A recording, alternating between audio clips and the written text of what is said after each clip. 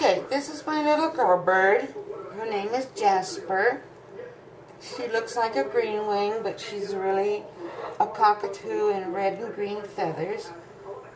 She likes to have all the attention she can get. She doesn't care what the attention is as long as it's attention. So I'll show you just how hard it is to give them a macaw oral meds. This is her heart medication. It's um, the same type of medication that a human would be taking if they had congestive heart failure. Jasper has congestive heart failure. She's doing very well. She's stayed stable now for several years.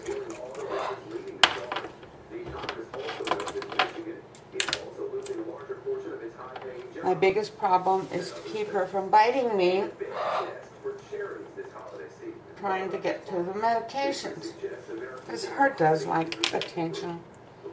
And medications are attention. Okay, now she's had her meds. And it's time to take her in and put her into the nebulizers. That's not her favorite. But again, it's attention. This is Hank. Hank has a reputation of being very closely related to the velociraptors. Sometimes it's true. But he likes to get his meds. I'm going to look at his throat right now because I check, I check it every day because he has had a MRSA infection for the last four months.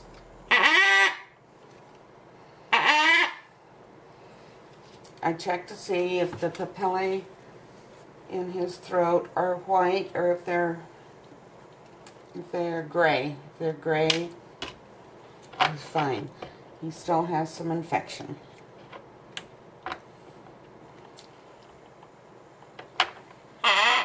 Hank had aspergillosis for four years and the medications damaged his liver. So he gets milk thistle twice a day. He doesn't mind it.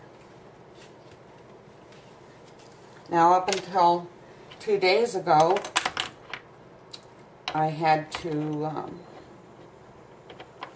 hand feed him once a day, sometimes twice a day, because he wasn't holding his weight.